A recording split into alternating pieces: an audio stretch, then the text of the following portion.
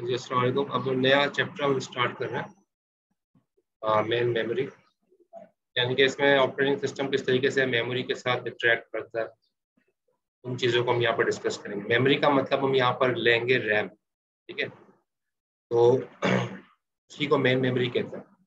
और primary storage भी एक नाम है इसका प्राइमरी सेकेंडरी स्टोरेज हम हार्ड डिस्क को कहते हैं। और प्राइमरी स्टोरेज जो है वो हमारी रैम है।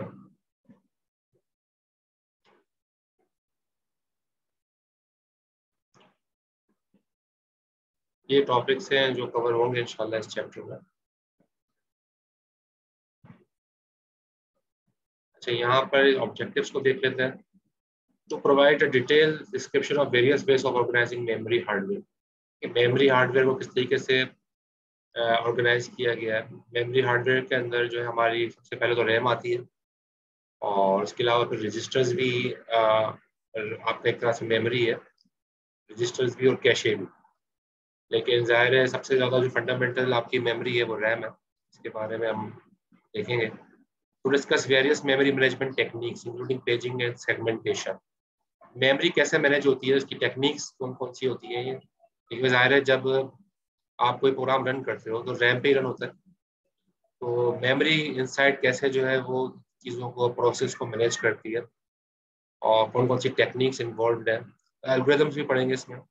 ठीक है तो वो फिर हम टेक्निक्स को हम पढ़ेंगे। तो फिर हमें अंदाज़ा हुआ कि वाकई में ये जो है कितना एफिशिएंटली जो है ऑपरेटिंग सिस्टम हमारे प्रोसेस को रन करता है। Third one is to provide a detail description of the Intel Pentium which supports both pure segmentation and segmentation with paging segmentation segmentation का जो कॉन्सेप्ट है और सेगमेंटेशन विद पेजिंग का concept है, ये हम देखेंगे। पहले तो ये पता होना चाहिए segmentation क्या है ठीक है तो अभी सब चीज़ें डिटेल में पढ़ेंगे इंशाल्लाह। और इस चैप्टर के अंदर जो ऑब्जेक्टिव्स हैं ये अचीव करेंगे।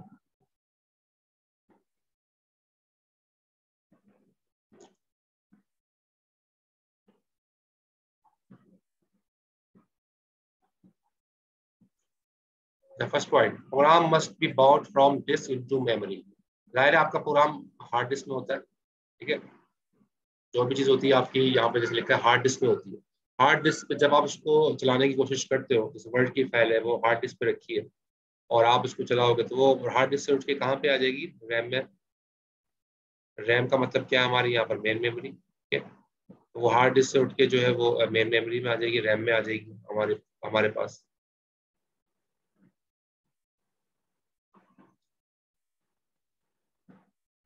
और प्रोसेसर फिर जो है जो चीज़ रैम में आएगी, प्रोसेसर उसी को रन करता है। ये हम पहले भी देख चुके हैं ये वाली बात, ठीक है? कि एक तरफ़ अगर आपका सीपीयू है, एक तरफ़ सीपीयू है, और दूसरी सीपीयू जो है वो एक्चुअली डायरेक्ट कम्युनिकेट किसके साथ करता है? वो डायरेक्ट कम्युनिकेट करता है रैम के साथ। सीपीयू डायरेक्ट कम्युनिकेट रैम के साथ करता है। ये रैम हो गई आपकी।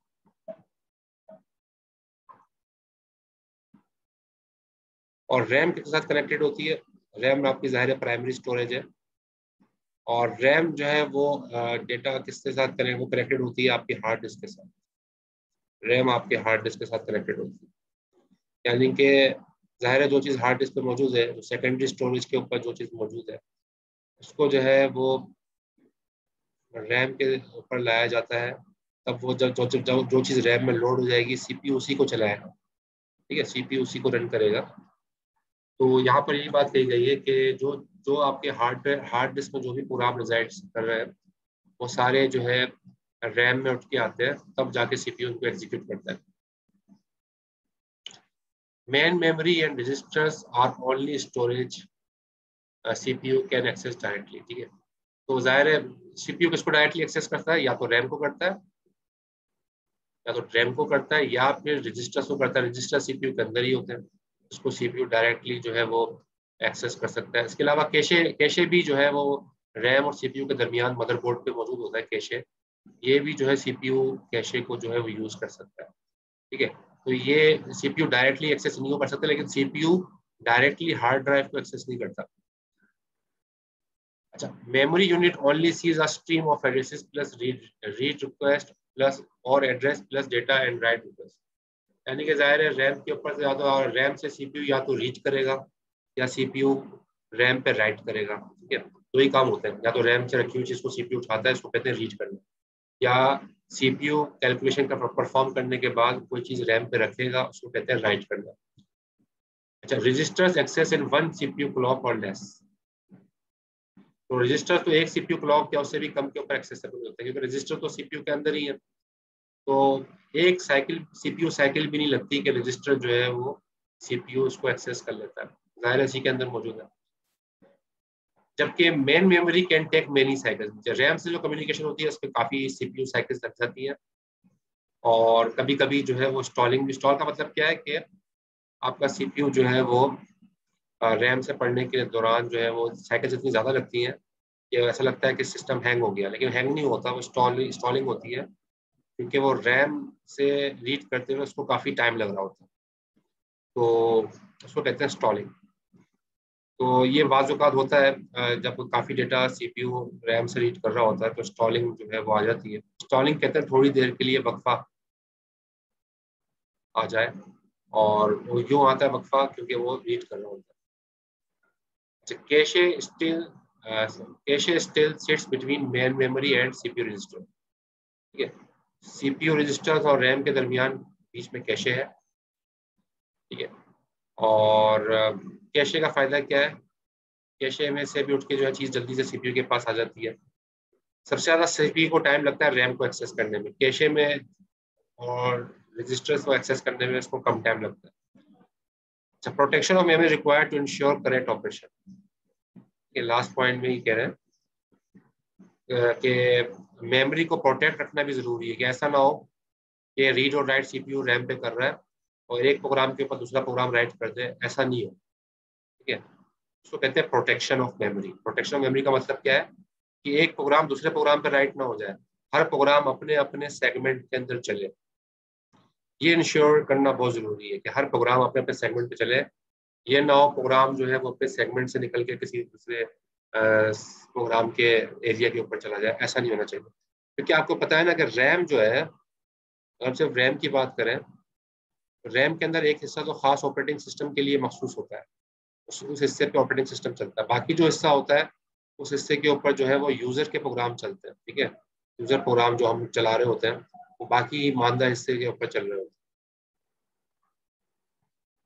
यहाँ ऑपरेटिंग सिस्टम चल रहा होता है और यहाँ पर यूज़र के जो प्रोग्राम इनिशियलाइज हुए हैं वो चल रहे होते तो और ज़ाहिर ये एक प्रोग्राम का हिस्सा है, या दूसरे प्रोग्राम का हिस्सा ये भी सेगमेंटेड में डिवाइड डिवाइड होता है, ठीक है रैम का हिस्सा।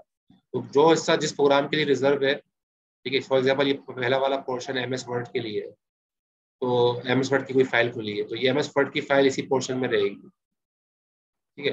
तो नीचे का जो पोर्शन है फॉर एग्ज़ाम्पल ये जो सेकंड ये लास्ट में नज़र आ रहा है, ये पोर्शन फॉर एग्ज़ाम्पल रिज़र्व कर दिया गया है एक्सेल की, एक कोई फ़ाइल खोली हुई है उसके लिए। ठीक है? तो एक्सेल की फ़ाइल जो है वो वहाँ पर रिजाइड करेगी।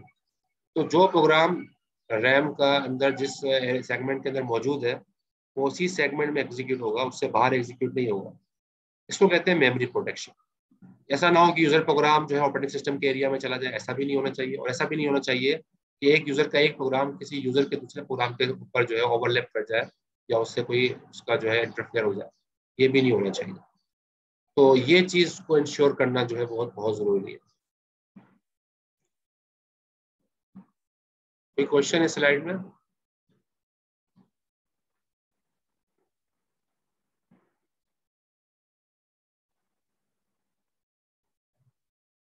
नो सर क्लियर है।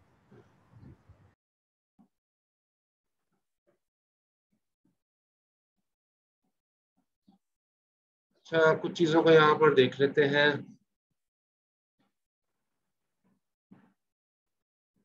देखो, इसमें हमने बात यहाँ पर की।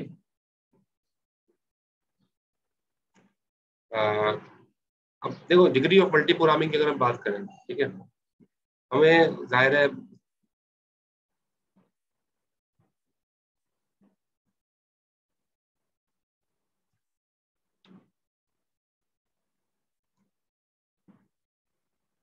अगर हम बात कर रहे हैं डिग्री ऑफ़ मल्टी प्रोग्रामिंग की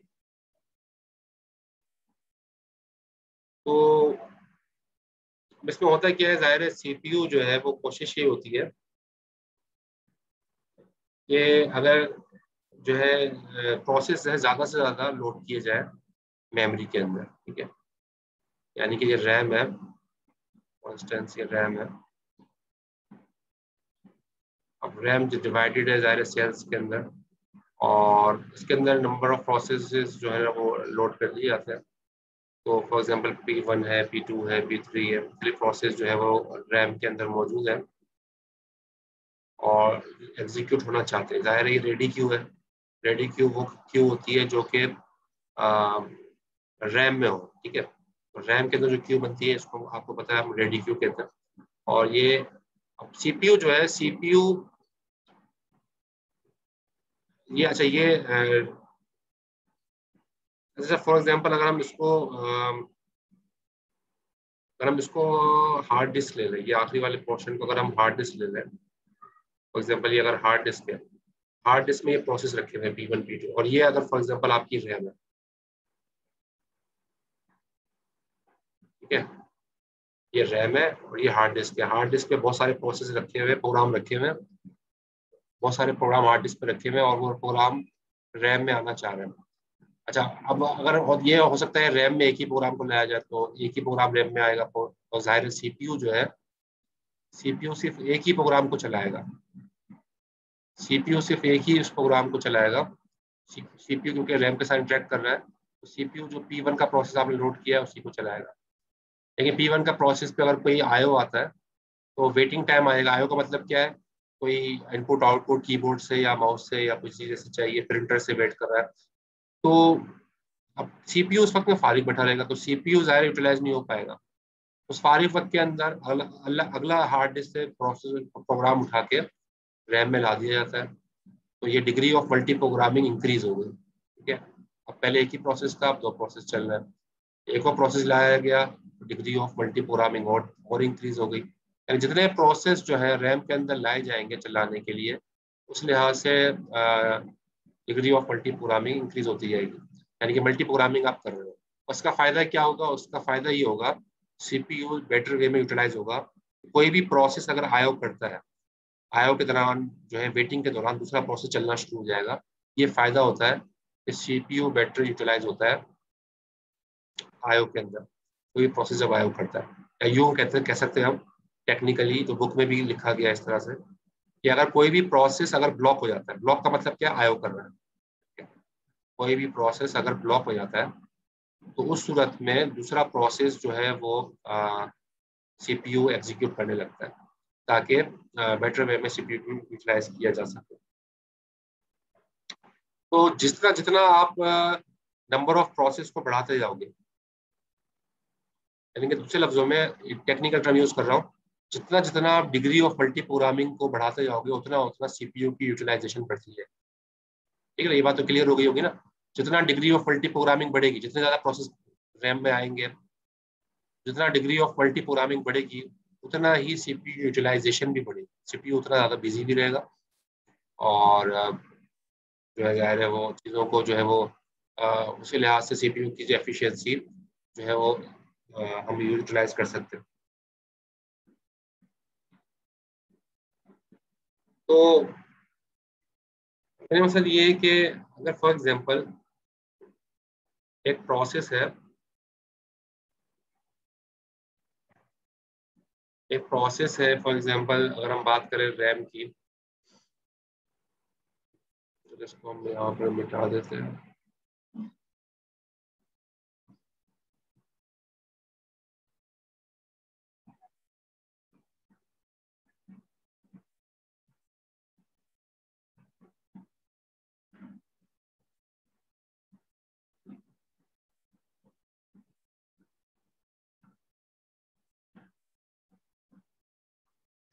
अब फॉर इंस्टेंस एक प्रोसेस है, अगर हम रैम की बात करें, ठीक है? रैम हमारे पास है, ये रैम है, ठीक है? अगर रैम हमारे पास फॉर एग्जांपल फोर एम की रैम है फोर एम की रैम है, और हमारे पास जो प्रोसेस है, उसको हमें एग्जीक्यूट करना है, जो प्रोसेस है, उस प्रोसेस का साइज़ भी जो है, वो भी फोर एम है। यानी कि फोर एमबी की रैम हो गई फोर एमबी का प्रोसेस हो गया। तो आप ये बताइएगा अगर मैं प्रोसेस इस फोर एम की रैम में चलाना चाह रहा हूँ तो इस रैम के अंदर कितने प्रोसेस आ सकते हैं? एक ही प्रोसेस है फोर एम का फोर एम की रैम में चलाना चाहता हूँ। तो कितने प्रोसेस फोर एमबी की रैम में आ सकते हैं? एक ही आ सकता है एक ही आ सकता है ज़ाहिर है। क्योंकि जब ये फोर एम का प्रोसेस रैम में आएगा तो ये फुल हो जाएगी रैम ठीक है? Yes, तो इसका मतलब क्या हो गया फोर एम की अगर रैम है और एक ही प्रोसेस है फोर एम का तो ज़ाहिर है उस सूरत में four divide four one four हो जाएगा तो एक ही प्रोसेस आ पाएगा रैम के अंदर ठीक है? तो फिर सीपीयू यूटिलाइजेशन की अगर हम बात करें सीपीयू यूटिलाइजेशन की प्रोबेबिलिटी को जो है ना हम के से डिनोट करते हैं। Let suppose K is the probability of CPU utilization sorry probability of IO के क्या है? ये समझ लें कि प्रोबेबिलिटी है। प्रोबेबिलिटी किस चीज़ की है? कि कितनी मरतबा आयो? आया आयो के अंदर आपका प्रोसेस कितनी देर रहा? क्योंकि ज़ाहिर है प्रोसेस दो ही स्टेट में होता है ना। या तो प्रोसेस सीपीयू सीपीयू स्टेट में होता है, यानी कि सीपीयू चला रहा होता है। प्रोसेस की दो कंडीशन में होता है, वो प्रोसेस सीपीयू की कंडीशन में होता है, यानी कि सीपीयू एग्जीक्यूट कर रहा है या प्रोसेस आयो कर रहा होता है, ठीक है? या तो प्रोसेस सीपीयू चला रहा होता है या प्रोसेस आयो कर रहा होता है। तो जो आयो की प्रोबेबिलिटी है ना, वो के है। कितनी मतलब कितनी देर तक प्रोसेस ने आयो परफॉर्म किया, ठीक है? उसको, उसकी प्रोबेबिलिटी को हम के से डिनोट कर कर रहे हैं तो फॉर इंस्टेंस अगर प्रोबेबिलिटी जो है वो पॉइंट सेवन है। पॉइंट सेवन जो है आप पॉइंट सेवन प्रोबेबिलिटी पर आयो प्रोसेस एक प्रोसेस जो है प्रोसेस वन है उसने आयो किया है। तो सीपी यूटिलाइजेशन की प्रोबेबिलिटी कितनी होगी फिर? सीपी यूटिलाइजेशन की की सीपी यूटिलाइजेशन को हम कैसे कैलकुलेट करेंगे? सीपी यूटिलाइजेशन का जो है फार्मूला है, वो मैं यहाँ लिख देता हूँ। सीपी यूटिलाइजेशन का फार्मूला है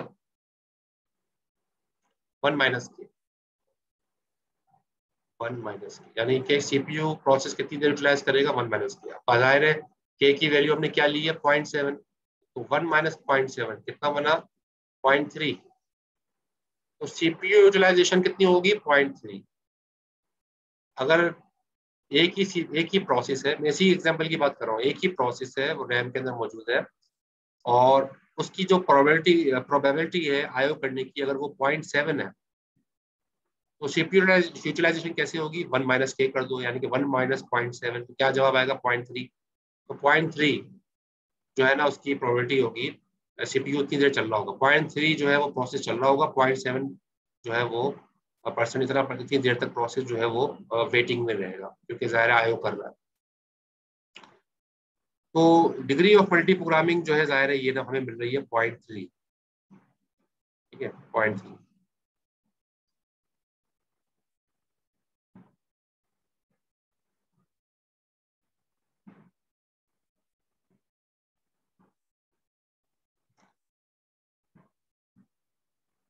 अच्छा अगर हमने केक प्रोसेस का साइज़ अब सिनेरियो को दूसरा ले लेते हैं। फॉर इंस्टेंस हमने रैम हमारे पास, हमने रैम बढ़ा दी अब बजाय रैम जो है, रैम का साइज़ हमने बढ़ा दिया। अब रैम का साइज़ जो है वो चार एमबी से हमने कर दिया आठ एमबी रैम का साइज़ हो गया एट एम और प्रोसेस का साइज़ वही है फोर एम प्रोसेस आपका वही फोर एम है। अब इस रैम के अंदर कितने प्रोसेस लोड हो सकते हैं? तो टू प्रोसेस टू प्रोसेस की फोर डिवाइड बाई एट तो आंसर आएगा टू दो प्रोसेस जो है वो लोड हो सकते हैं रैम के अंदर। तो अब देखिए के, के और ज़ाहिर है अब उस सूरत में दोबारा से हम ये कहते हैं दोनों प्रोसेस के अंदर आयो के लिए जो वेट हो रही वेटिंग हो रही है वो पॉइंट सेवन है। यानी कि पॉइंट सेवन जो है वो आयो के लिए वेट कर रहे हैं दोनों प्रोसेस यानी कि एक, एक, एक, एक हर हर process point seven probability IO पर आयो कर रहे हैं। इसका मतलब क्या हुआ कि दो प्रोसेस कितने पे करेंगे? तो इसका जवाब ये होगा कि वो फिर वो करेंगे फिर one minus K square one minus K square और के की वैल्यू क्या है? पॉइंट सेवन पॉइंट सेवन का स्क्वायर ले लेंगे हम।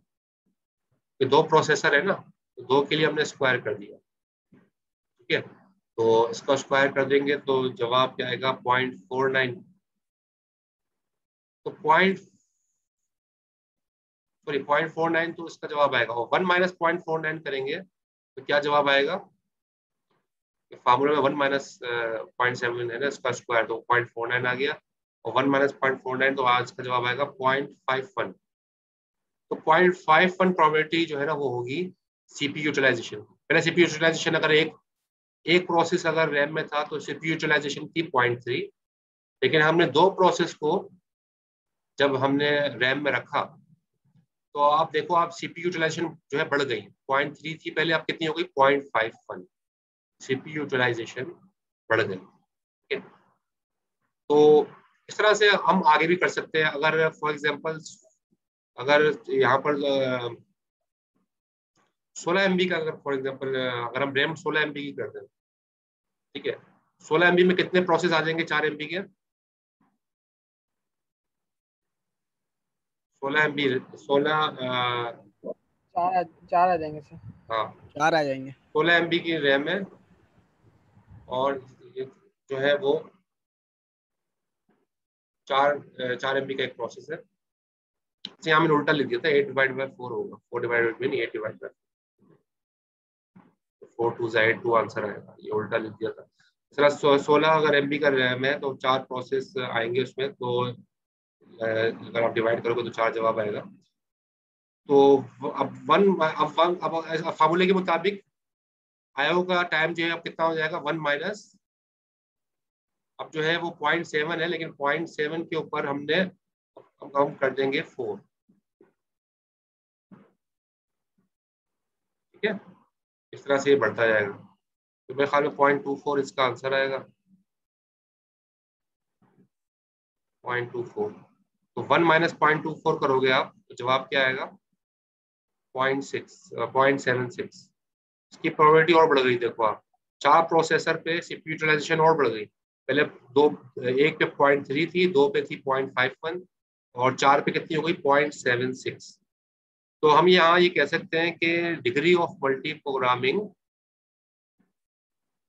जो है वो बढ़ जाएगी जब हम जो है वो नंबर ऑफ़ प्रोसेसेस को बढ़ाएँगे। यानी कि डिग्री ऑफ़ मल्टी प्रोग्रामिंग बढ़ाने से सीपी यूटिलाइजेशन बढ़ रही है। यहाँ पर ये बात प्रूफ हो रही है कि डिग्री ऑफ़ यानी कि नंबर ऑफ़ प्रोसेसेस हम बढ़ाएँगे रैम में तो सीपी यूटिलाइजेशन जो है वो बढ़ती चली जाएगी। ठीक है? क्लियर हो गया? कोई बात इसमें पूछनी हो तो पूछ।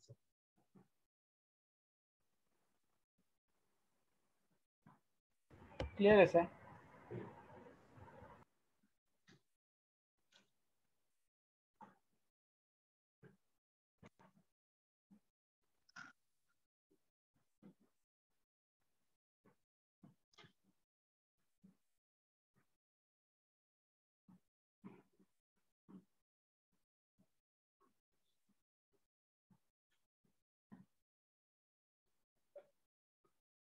अच्छा मेमोरी मैनेजमेंट की टेक्निक्स का भी थोड़ा सा डिस्कस कर लेते हैं, फिर आगे बढ़ते हैं।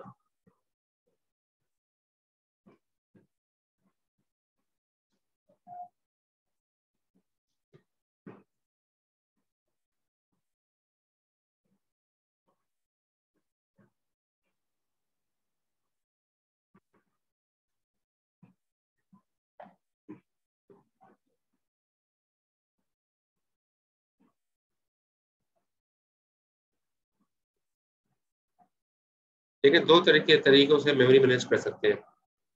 एक तो है कॉन्टिग्यूस ठीक है कॉन्टिग्यूस के अंदर भी मतलब कॉन्टिग्यूस का मेमोरी को मैनेज कर सकते हैं, और एक नॉन कॉन्टिग्यूस है मिस्टेक आ रही है कॉन्टिग्यूस और नॉन कॉन्टिग्यूस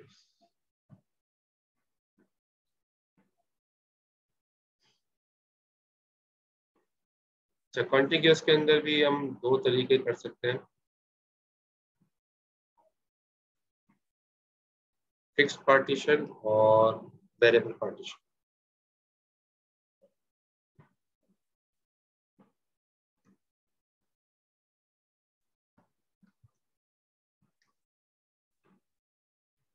और नॉन कंटिग्यूस में पेजिंग का कॉन्सेप्ट हम पढ़ेंगे पेजिंग का।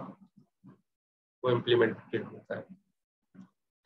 पेजिंग होती है, फिर मल्टी लेवल पेजिंग है।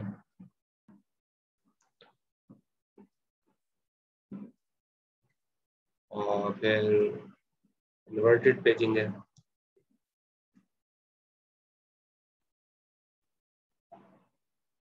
सेगमेंटेशन है, सारी चीज़ें इसके अंदर आ जाती नॉन कंटिन्यूस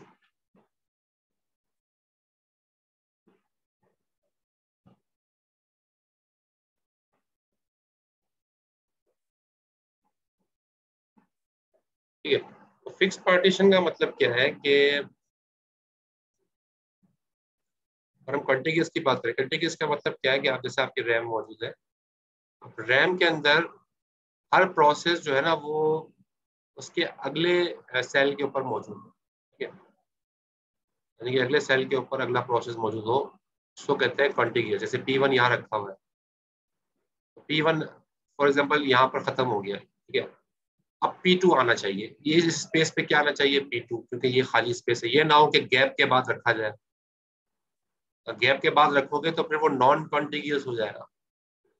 कंटिन्यूस का मतलब है कि कंटिन्यूस यानी कि फॉरन पी वन के बाद जो स्पेस है, उसके अंदर अगला प्रोसेस आए विदाउट एनी गैप ठीक? है? उसके बाद उससे, उसके बाद जो अगला प्रोसेस है वो उसके अगले सेल पे या अगले मेमोरी जहाँ पर जो अवेलेबल है, उस पर आया। तो अगर आप कंटिन्यूस इस तरह से इस फ़ैशन में चल रहे हैं तो हम कहेंगे कंटिन्यूस मेमोरी जो है ना, वो एलोकेट हो रही है। जैसे जैसे जो जो स्पेस आगे आती जा रही है, वैसे वैसे प्रोसेस को एलोकेट होती जा रही है। उसको कहते हैं हम कंटिग्यूस मेमोरी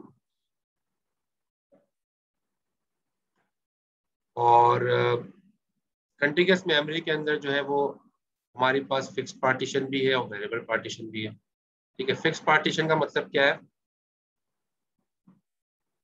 कि आपने जो है ना वो आपने एक जो है ना वो एक पार्टीशन फिक्स कर दिया कि भाई सारे प्रोसेस जो है वो इसी पार्टीशन के अंदर आने चाहिए। एक पार्टीशन फिक्स कर दिया कि सारे प्रोसेस इसी पार्टीशन में आने चाहिए। वेरिएबल पार्टीशन का मतलब क्या है?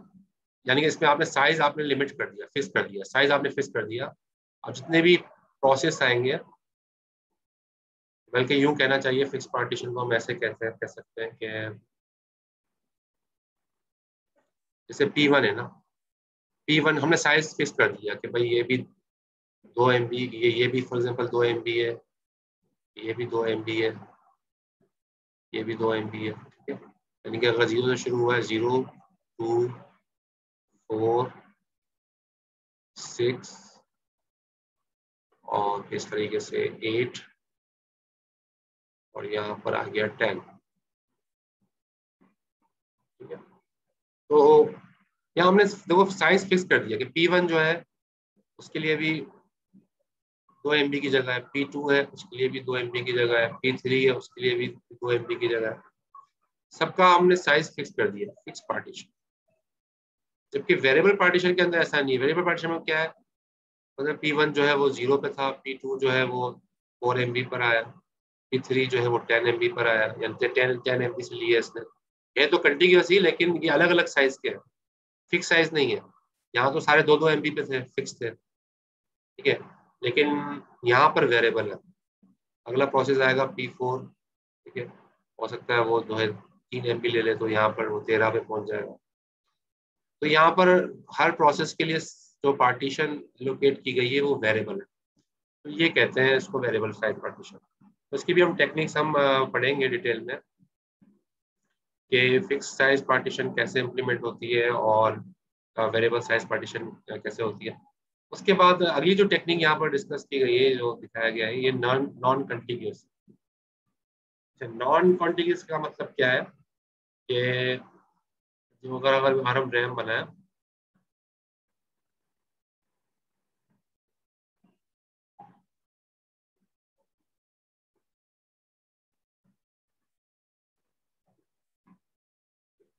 तो इसमें फॉर एग्जांपल प्रोसेस वन है प्रोसेस वन यहाँ रखा हुआ प्रोसेस टू ज़रूरी नहीं है कि वो इसके अगली लोकेशन पर है। सकता अगली लोकेशन के ऊपर कोई और प्रोसेस रखा हुआ है, कोई और काम रखा हुआ है, ठीक है? किसी और काम का डेटा जो है यहाँ पर मौजूद है तो वो उसको छोड़ देगा। और तो जोड़ के कहीं भी जो उसको जगह मिली, उसने वहाँ रख दिया प्रोसेस टू प्रोसेस थ्री उसने हो सकता है यहाँ रख दिया। यानी कि ये कहलाता है नॉन कंटिगियस नॉन कंटिगियस में सीरियल वाइज जैसे ये है ना गैप के बगैर और जहाँ पर पहली, पहले स्पेस मिले वहाँ रखा है। उसको कहते हैं कंटिगियस नॉन कंटिगियस के अंदर गैप जो है ना गैप गैप से जहाँ भी उसको जगह मिलती है, वहाँ रख देता है। और ये नहीं देखता कि शुरू से चलता हुआ है और देखे जहाँ पर गैप है, वहाँ वहाँ कैसा नहीं करता। क्योंकि जहाँ भी उसको जगह मिलती है, वहाँ पर रख देता है। तो ये होता है नॉन कंटिग्यूस तो दोनों तरीके जो है मेमोरी मैनेजमेंट के मौजूद है कंटिग्यूस भी और नॉन कंटिग्यूस भी। ज़्यादातर हमारी मेमोरी जो चल रही होती है वो नॉन कंटिग्यूस पे चल रही है। क्यों? क्योंकि देखो कोई भी डेटा लोड होता है तो वो ये थोड़ी देखता है कि शुरू से कहाँ पहली जगह मिले वो फ़ौरन रख देता है जहाँ भी मेमोरी में जगह मिलती है। तो ज़्यादातर जो है ना नॉन कंटिग्यूस चल रहा होता है। लेकिन और ज़ाहिर है इसकी भी टेक्निक्स भी ज़्यादा है ठीक है? उसको काम करने की। आ, लेकिन ये भी पॉसिबल है कंटिन्यूस भी पॉसिबल है। एरे में आप यही, एरे में हम यही यूज़ करते हैं, जब एरे बनाते हैं आप तो एरे के अंदर ज़ाहिर है वो अगली वैल्यू अगले इंडेक्स पर होती है तो फिर वो कंटिन्यूस ही सब चीज़ें कर रहा होता है। तो बहरहाल ये दोनों तरीके मेमोरी मैनेजमेंट टेक्निक्स के जो है, मौजूद है।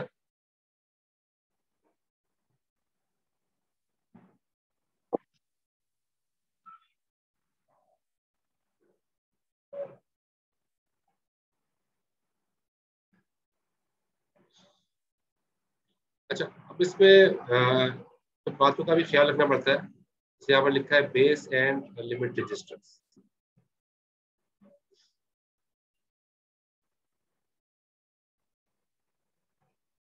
ठीक है? बेस रजिस्टर्स और लिमिट रजिस्टर यानी कोई भी प्रोसेस जो है ना, वो अपना बेस और लिमिट रजिस्टर के अंदर ही चलेगा। ठीक है, यहाँ क्या लिखा है? आप pair of base and limit registers define the logical address space. देखो, एक होता है फ़िज़िकल एड्रेस स्पेस एक होता है लॉजिकल एड्रेस स्पेस ठीक है? लॉजिकल एड्रेस स्पेस के अंदर फ़िज़िकल एड्रेस है दो मतलब होता क्या है? कोई कोई भी प्रोसेस आया, अब उस प्रोसेस को रख दिया गया। कहाँ रख दिया गया? फॉर एग्ज़ाम्पल अगर हम इस प्रोसेस की बात करें जो यहाँ पर दिखाया हुआ ये वाला प्रोसेस अब इसको ये रखा कहाँ गया है? ये रखा गया है, इसका एड्रेस ये जो लाइन जो है, ये शो कौन सा कौन सा एड्रेस शो हो रहा है? Three zero zero zero four zero ठीक है? इस एड्रेस के ऊपर जो है, ये ये प्रोसेस जो है, यहाँ से रखा गया। शुरुआत यहाँ से हुई, जिसलिए इसी वजह से इस एड्रेस को हम क्या कह रहे हैं? Three zero zero zero four zero को हम कह रहे हैं बेस एड्रेस क्योंकि यहाँ से ये स्टार्ट हो रहा है। तो यहाँ से स्टार्ट हो रहा है। अब इसकी लिमिट क्या है? ये इसकी लिमिट क्या है? इसकी लिमिट है one two zero nine double zero. यानी कि ये इतने बाइट्स ये लेगा। One one two zero nine double zero इतने बाइट्स ये लेगा। तो थ्री थाउज़ेंड फोर ज़ीरो के अंदर आप ऐड कर दो, ये लिमिट है। लिमिट के अंदर आप ये लिमिट ज़ाहिर है, इसका अगर ये लिमिट इसकी बता दी गई, अब ये लिमिट आप इसमें ऐड करोगे twelve thousand zero twelve one two zero nine double zero, ये आप ऐड करोगे थ्री थाउज़ेंड फोर ज़ीरो में। तो जवाब आ जाएगा आपका four two zero nine zero. Four two zero nine zero ये एक्चुअली बन जाएगा इस, इसको ऐड करने के बाद ठीक है? तो ये आपका जो है साइज़ हो गया प्रोसेस का यहाँ से लेके यहाँ। आपका प्रोसेस इस सेगमेंट के अंदर रहेगा आपका प्रोसेस इस सेगमेंट से बाहर नहीं जाएगा। ठीक है? तो ये प्रोसेस का बेस और लिमिट बता दिया। इस तरह हर प्रोसेस की बेस और लिमिट बता दी जाती है ताकि वो चले तो उसी उसी के अंदर रहे। ये तो ऑपरेटिंग सिस्टम का एरिया ऊपर वाला जो ग्रे में शो हो रहा है। ठीक है, बाकी ये यूज़र का एरिया है, नीचे जो व्हाइट में यूज़र का एरिया तो यूज़र के एक प्रोसेस भी दूसरे प्रोसेस पे ना जाए, हर एक अपने अपने सेगमेंट में रहे। तो पता कैसे चलता है? हर एक का बेस रजिस्टर और लिमिट बता दी जाती है कि भाई लिमिट इतने बाइट्स तक है। इतने बाइट्स तक ज़ाहिर है, वो वहाँ तक जो भी बनेगी फिगर ठीक है तो ये तो फ़िज़िकल एड्रेस हो गया ये लॉजिकल एड्रेस है। लॉजिकल एड्रेस के अंदर ऐसे बताते हैं कि भाई इतने ऐड कर लेंगे। अब इतने ऐड कर लेंगे तो बनेगा क्या? तो ये बनेगा। तो ये फ़िज़िकल एड्रेस हो गया, ये लॉजिकल हो गया। ठीक है तो लॉजिकल एड्रेस के अंदर वो एक्चुअली तादाद बता देते हैं कि यहाँ से शुरुआत हो रही है, लेकिन तादाद कितनी है, कितने बाइट्स हैं तो वो जहाँ भी मेमोरी में बनेगा, वहाँ तक जाएगा। ठीक है तो ये कॉन्सेप्ट है एड लॉजिकल एड्रेस स्पेस और फ़िज़िकल एड्रेस स्पेस के बारे में बात हुई है। तो अगर ये चीज़ मेंटेन नहीं करेंगे ना तो नुकसान क्या होगा? ये प्रोसेस अपने एरिया से निकल के दूसरे एरिया में चला जाएगा। अब अगर अपने एरिया से निकल के दूसरे एरिया में चला जाएगा तो ज़ाहिर है दोनों ही तरफ़ हो जाएँगे प्रोसेस ये भी तरफ़ हो जाएगा, ये भी तरफ़ हो जाएगा। तो ये नहीं होना चाहिए। तो हर एक को अपने अपने एरिया के अंदर बाउंड कर दिया जाता है बेस और लिमिट रजिस्टर्स के ज़रिए। और वो उसकी लॉजिकल एड्रेस स्पेस बन जाती है। CPU must check every memory access generated in user mode to be sure it is between base and limit for that user. CPU क्या करता है? CPU चेक करता है कि हर प्रोसेस जो है मेमोरी के जो बेस और लिमिट रजिस्टर है उनके दरमियान ही रहे, उससे बाहर नहीं जाए। उससे बाहर नहीं जाए। ज़ाहिर है उससे बाहर जाएगा तो प्रोसेस खराब हो सकता है। तो सीपीयू उसकी श्योरिटी लेता है कि प्रोसेस जो है वो लिमिट और बेस रजिस्टर के दरमियान ही एग्जीक्यूट हो, इससे बाहर जो है एग्जीक्यूट ना हो।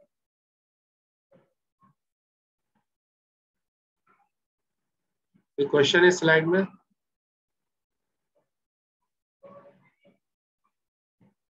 क्लियर हो गया लॉजिकल एड्रेस स्पेस क्या होती है yes sir physical address space को कहते हैं भाई ये फ़िज़िकल हो गया ना ये नंबर तो फ़िज़िकल है ठीक है अब आप ऐड करोगे तो जो जो भी नंबर बनेगा वो मेमोरी का वो फ़िज़िकल एड्रेस है। अच्छा यहाँ पर मुझे एक मिनट को दिखा रहा है ये कुछ सेकंड है बंद होने में तो दोबारा से कनेक्ट करते हैं।